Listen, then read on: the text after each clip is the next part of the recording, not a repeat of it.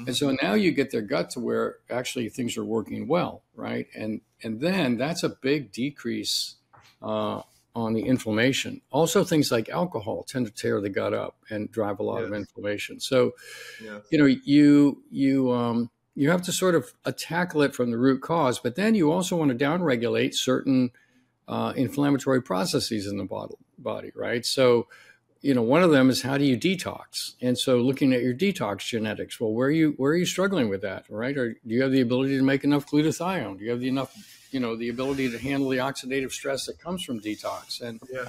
things like that, right? So, if you you have to deconstruct these things and take it apart layer after layer to actually now systematically build in a, an anti-inflammatory uh, strategy, if you will. So, mm-hmm. and when you get that right, what we found, and something you mentioned earlier, is that I think virtually all cognitive decline is a function of, uh, I'm going to say, it's hard to say all. I'm going to say the vast majority of cognitive decline is a function of neuroinflammation.